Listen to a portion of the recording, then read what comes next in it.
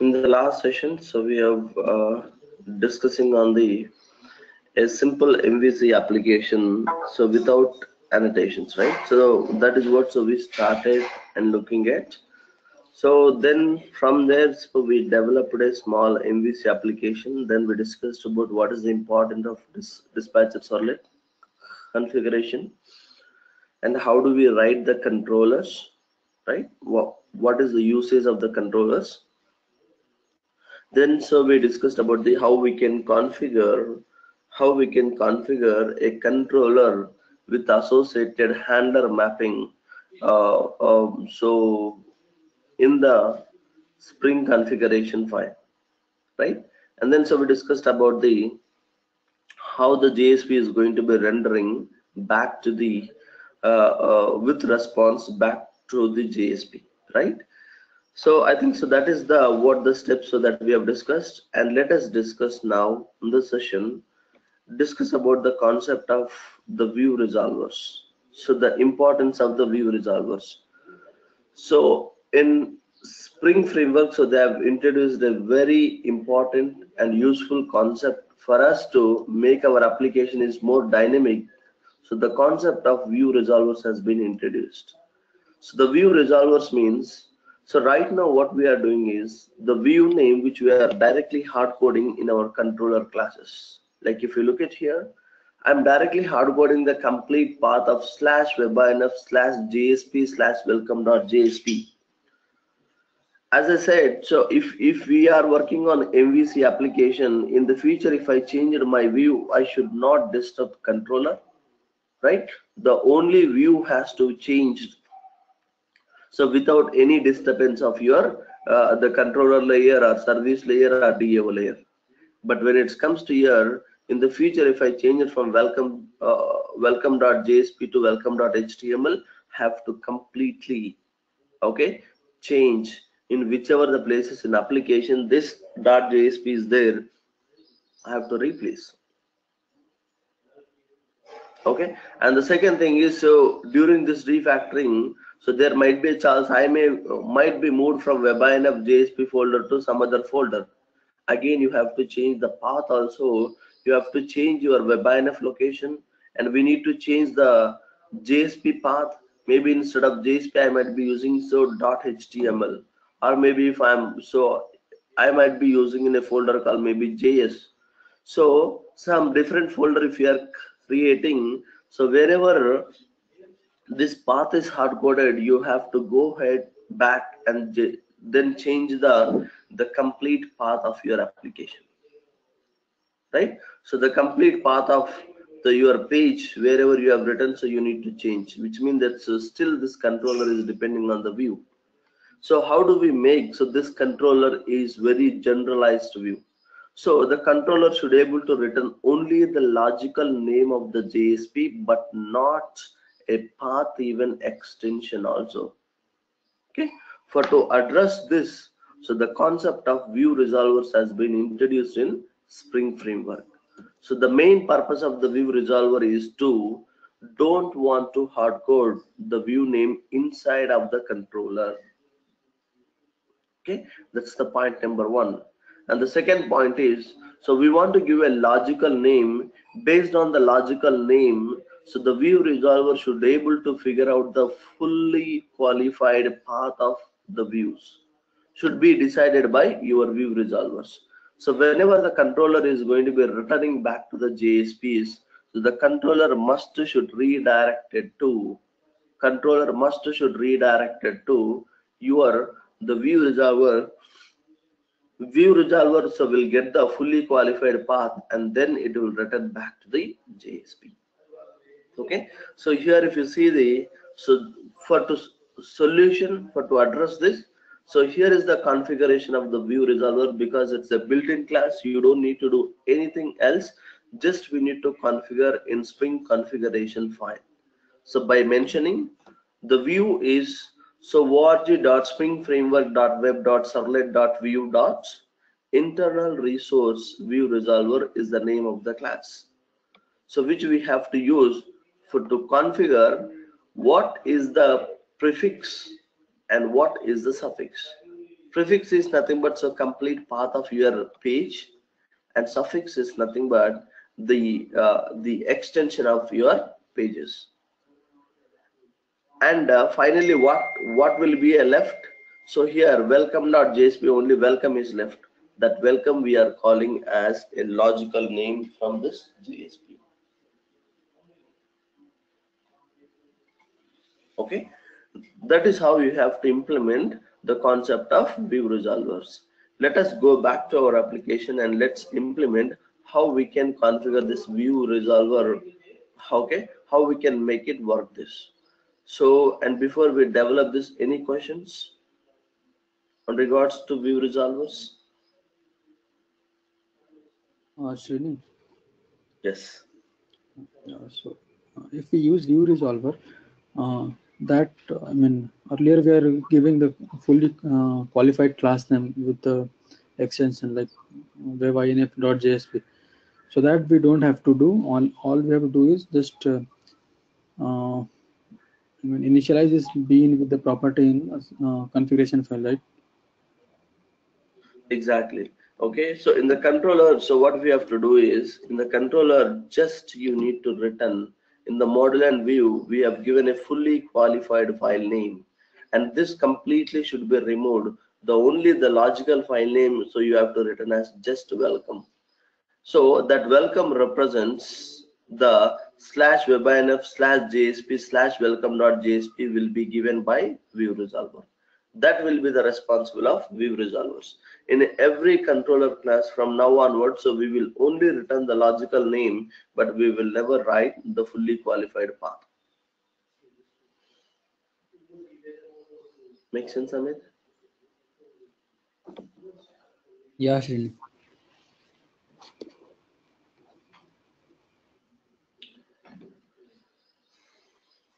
All right so let me launch the sts looks like it is launching. So once the sts is launched then so i'll try to show you how we can apply this. Okay so with this so your controllers is becoming independent.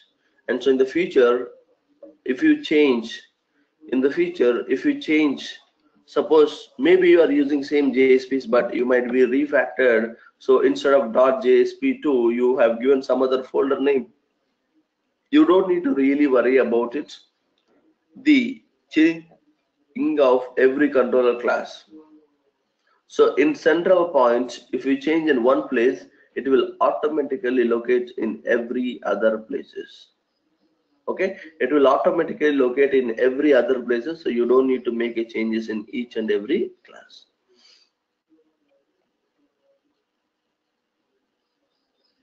Okay? The same the case with the uh, extension also. dot jsp also if you make a changes in here and you don't need to change in everywhere anywhere in the controller because you have not hard coded so it will automatically reflect it so the one change is become easy to make your code yes Here uh, in the property tag we are uh, giving prefix and suffix, right? yes But in in prefix we already mentioned JSP. where we have mentioned jsp Uh, in the prefix, I mean the prefix value equals to web inf slash JSP, right? okay And same we are doing in suffix also. Okay understand here under webinf i added a folder called jsp to place all my jsp files in a folder called jsp Okay. maybe assume that so maybe that is a your folder where you are storing all your JSP files. I want to Okay. store all my files in a folder called JSP folder. Yeah. Yeah. Okay, and the extension is different, and your extension is different, and your folder is different. Uh, Srini, I have a question. Uh, can we have you know multiple properties for suffix? And in case of you know multiple JSP files, is uh, is that possible? I mean, uh, What is that? Multiple? multiple uh, property suffix. Let's say we have you know one JSP over here, and if you wanted you know multiple JSP, so in that case, you know, should uh, can we have multiple properties? So That's what I said. So okay, this will supports for every JSP. Okay, I'm not speaking about only one JSP. Okay, across the application, if you are writing thousands of JSPs. Every thousands of JSP look at this path and it it uses the same extension. And is it possible, Srini, right? Suppose we have, uh, uh, I mean, different extensions. Suppose one is .jsp, another one is .js, another one is .html. So, what I mean, Are you talking about? I mean, I mean, uh, different uh, extensions. Is Okay. it allowed here? I mean, uh, I just I'm just thinking about uh, when you required the different extensions. Your view No, should sorry. be either HTML or your view should be JSP or your view should be okay, uh, maybe uh, JS files, right? Yeah. Uh, not like combination of everything, right? Yeah, correct. But but uh, like I'm just asking, like whether is it possible not combination here? I mean, uh, basically they have they have think thinking in that aspect. Basically, that will be not allowed in the application. So that's what so they have given an option to choose and only one suffix. Yeah. Okay. Okay, because if your application is designed in JSP, complete JSP. Under that JSP, you can load as many JS files so that you want, right? So you know how to include the JS files. So that will be automatically handled. The same the case, suppose if you are returning, if you are not using JSP, if you are using so .htmls and you can. Suppose if you are not using .html, suppose if you are using .jsf, still you can make your changes to .jsf. Okay, and in that aspect, so they are returning a generalized view. In that generalized view, and your other uh, components of your view can be integrated in that page, in that file, can be integrated or included in that particular file. Suppose example in the HTML, I want to include all the JSS files or CSS files, everything which you can still include in your uh, JSP page.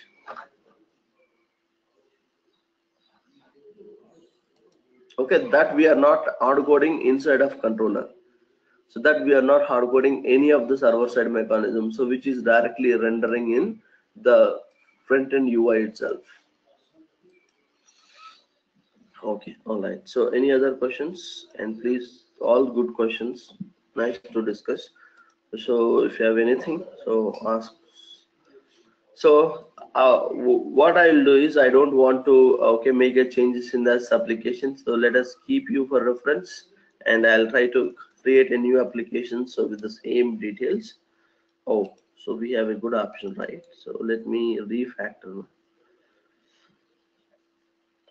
Right click. So I'll try to create a new project and we'll configure here and we'll make some changes in this application. Let us see so whether it is able to accept the view resolvers or not. I'll try to go to refactor and rename Maven artifact. Okay, let us change the name of the application. So this is our 24 project. Spring MVC. Okay, so view resolver project, right? So view resolver. Okay. Spring MVC View Resolvers project. I would like to rename complete uh, project in a Eclipse. I think it won't uh, refactor here, right? Does it going to be? I, I don't think so. It's just renaming it. Oh, very good, good catch. Thank you for. I'm just renaming blindly. That is my mistake. So let me copy this project. So first of all, let me make a copy and paste this guy. Okay. I think I'll paste it. Okay. And then so we will uh, refactor it. Okay. I think that is what what we did in the last time. That was the first time I was using that option. Let us see. Now I'll go to refactor. Let us refactor entire Maven artifact. I'll copy and then paste this project. So rename this project in a class application.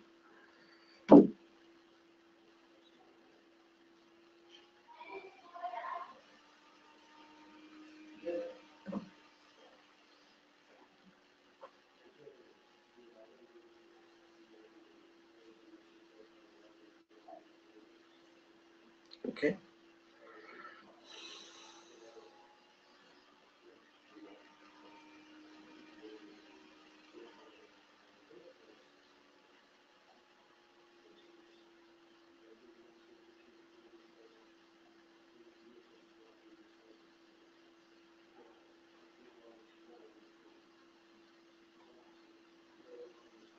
All right so project is ready so with the complete refactoration. So now what i'll do okay we know that so we have hard coded in the controller okay. So let me open the controller and same thing so let me also open spring configuration file.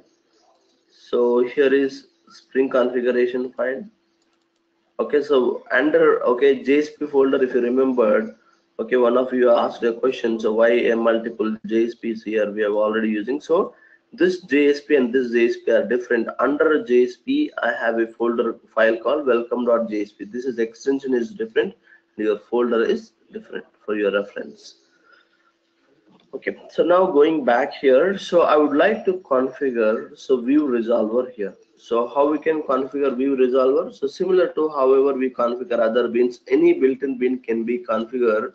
So in Spring configuration file. And this bean we are not really invoking anywhere. It will be automatically called by Spring dispatcher servlet. So you don't need uh, to declare any ID. You don't need to declare any name. So that's completely optional until unless if you are explicitly looking up then only you need to mention uh, id and name otherwise just directly mention your name of the class okay name of the class. And then so i'm writing so class name is internal view resource view resolver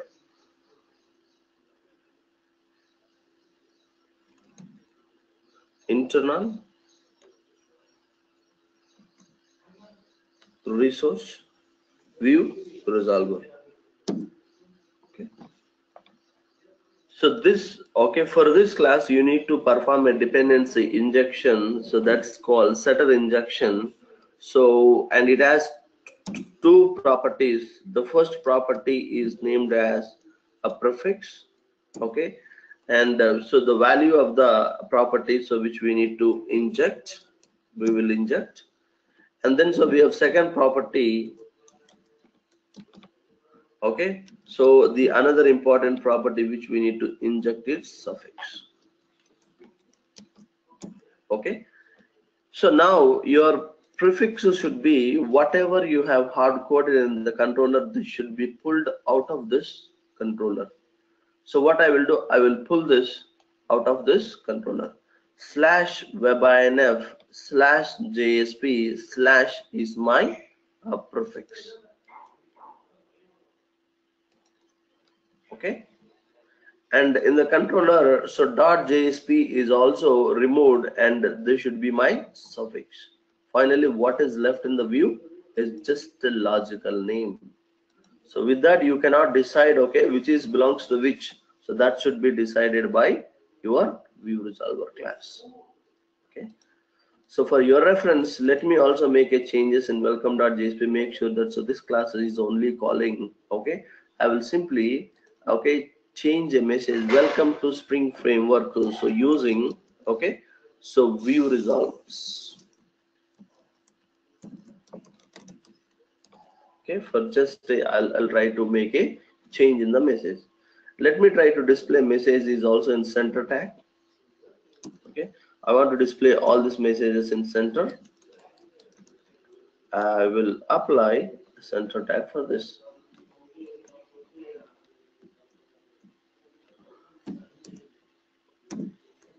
okay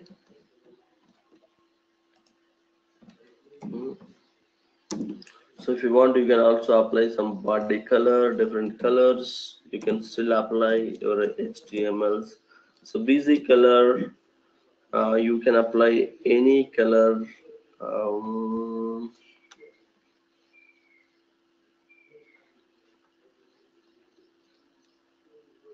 okay. Right light yellow let's see what what can come. I'm just writing a light yellow. Let us see what color can represents that's it. So your spring configuration file is configured right? Your spring configuration file is configured and your welcome.jsp is also there. And so and uh, now the view is returning a just a logical page. And no, now let us deploy and then try whether this is accessible or not. Srini, Srini, I have just, you know, I think I have disconnected from you. Uh, uh, this welcome is there, right? In the set view name, uh, can you please go to controller? I just wanted to understand, you know, the mapping between the logical name and the physical name, where it is happening. I just wanted uh, get it. Okay. So what will happen is this model and view, the object will be handed over to the dispatcher servlet. Dispatcher servlet will read the data from this model and view. It will check what is the view name is set by controller and what is the model object set by the controller. So it will not uh, do anything for, for model objects, but it will do for something for view name. So whenever there is a logical view name is returned, Spring Framework, that is means the dispatcher servlet will contact the view resolvers. Does any view resolver is configured for this application? If any view resolver is configured for this application, it will pass the logical name to view resolver. So, boss, I have only logical name. Can you share a fully qualified, a fully qualified file name back to me before I render to JSP? And then simply, so it will uh, it will contact to the view resolver. So view resolver will generate a fully qualified file name using of this logical name. And that will hand over to dispatcher servlet and this so dispatcher servlet so will pick up that JSP then it will render the information to the browser. Make it sense So yes, that means you know there is no uh, logical connection that developer can see. That is, you know, the framework is you know taking care of the mapping of mapping between the logical and the physical uh, name, right? yes that's correct so you cannot uh, visually or physically you can observe but you have to logically think about it so this is what really happening uh, between these two Uh, can we see while executing this uh, application that you know uh, the uh, what we are you know uh, getting back to the set view name? yes yes that you can do Oh. you can see um, oh, so oh. in the console you can observe that the view resolver configuration, so view resolver activities Okay. uh, Okay. Thank you. Yep. Okay. So now let us deploy the application and then so watch it. So we are correct or not? Huh.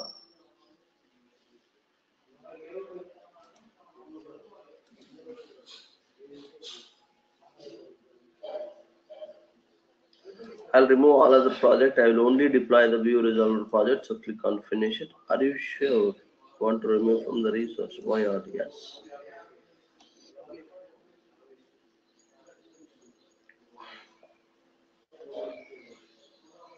Okay.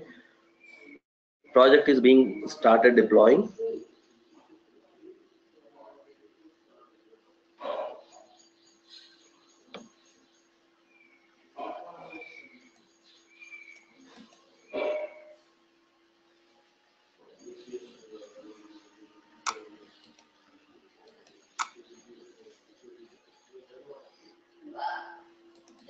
Let me show you if there is any view resolver is being actively monitoring. See here, a internal view resolver is actively uh, monitored and your file name is okay detected for this slash welcome.htm so it is going to be providing a fully qualified name. So the internal view resolver bean is actively monitoring. Okay so now let us start submitting the request. So what is the request name? Slash welcome.html is our request name. Copy this request name. Then let us try to access it. Okay.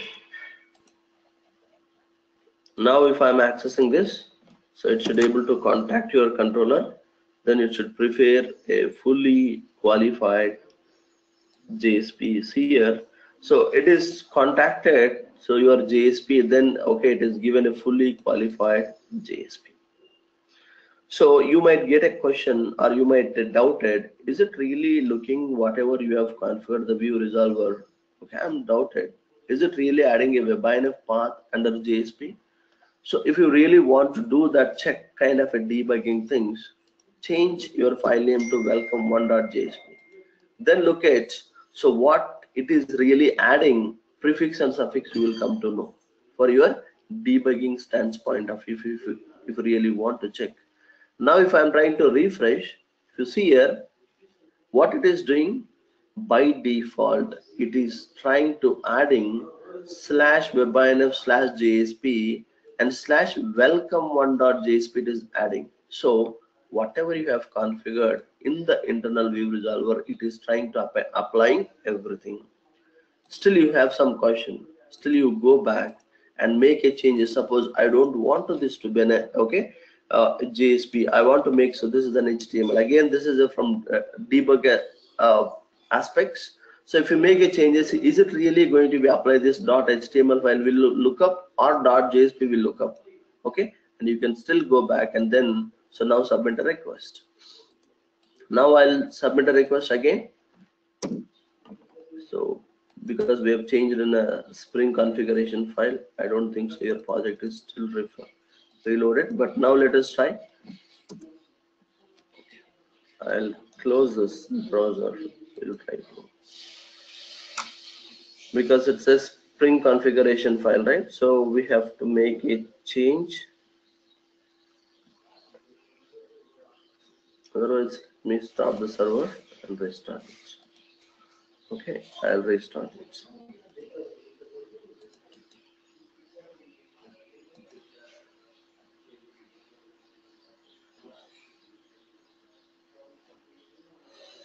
hmm. Okay, I will go back again. So redeploy the application, rerun the application. Okay, run it, finish it.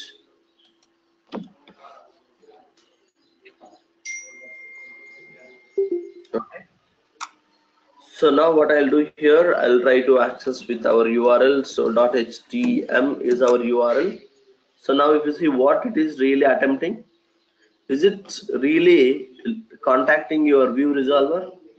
Then whatever you have written, that extension is adding automatically, right? So whatever, okay, the changes you are making a logical name, so with that, it is dynamically preparing and forming. Okay, this is for debugging aspects. So how that is really contacting, then getting information. If you have such questions, okay, still you can always do this debug, and then you will come to know that it is really happening or not. Okay, so that's it. So any questions from here on view resolvers?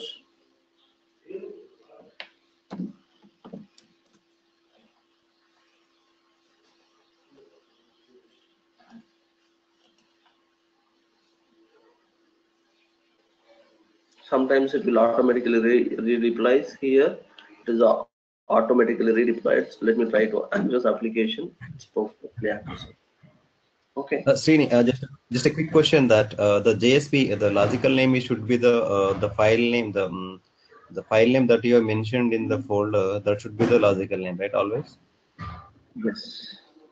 Okay. Not always. Not always. Okay. Remember, remember that.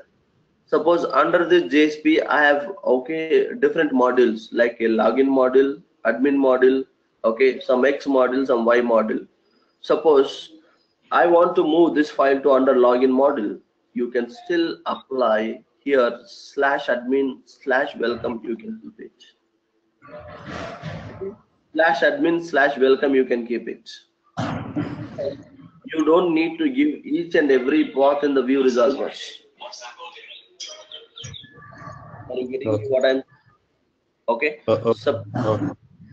okay. Suppose okay. Uh, this view if you have moved to a new folder.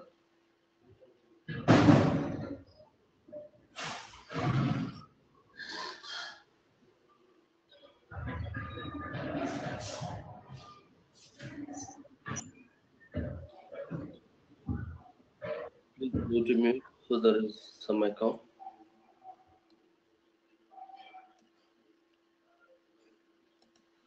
Hmm. Okay. So here I would like to add a new package.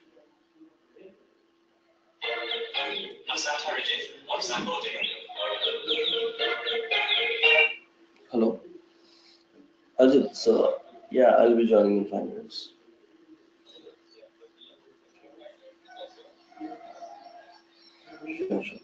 Thank you. Sorry. Yeah. So okay, I want to add a new folder. Uh, that's not a package which we are trying to add. Okay, that's okay. Let me try to add a new manually. Let me go to file, new folder. Okay. Like to add some okay login related modules. All I want to place under this folder. Okay, under this I want to move this page also okay? And uh, for suppose in the future you have one more module called admin. So like this every module so you cannot mention here right? In the view resolver class. But so what you can do and that your modules which will be a constant so you can place under this folder. Slash login slash welcome. And uh, so the slash login is represents your location of the folder. So where it is and last is the the logical name of your file Okay, got got it. Uh, okay, uh, it just view resolver no, can just now pass the information till the uh, the JSP folder, yes the physical part. Okay. yes okay so now if i am still going to access you see here it is still accessing still it is accessing even though my file is mute okay into the next level i have changed in my controller but still i am able to access the application. How? Because so i have moved to login dot so this and the same thing was updated. But this time if you try to access with only welcome.jsp and if you see your application is going to be redeployed but if you not mention your login folder what will happen? So and you have not mentioned that in the spring configuration file. At the same time you have also not mentioned here. So what will happen? So simply it will give you a fair error saying that welcome.jsp is not found. So http status 404 because it is only searching under jsp folder but under jsp folder there is no welcome.jsp it is simply failing to access that. Okay? Under subroot folders can be configured in the view itself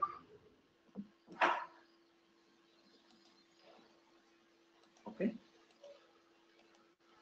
so hope everybody understands. So all right so sounds good then. So that's all i have. So if someone that uh, login slash login also in Spring configuration file, file as well, right? You can login. slash login into that Spring config file also, right? you can mention but suppose in the future if i've added something called admin folder Okay. Okay and after that so i've added some other folder. So it is not a good to add each and every folder here. The root folder should be is enough. The root folder. Anyway subfolders you are not going to be changing right? So that remains the same. Right, right. all right. Okay i think with that said that's it i have to for now. So let us continue the rest of other MVC concepts in the next session so until that so have a good day to all of you and see you on the next session. And bye bye have a good night. Sorry have a good day. Bye bye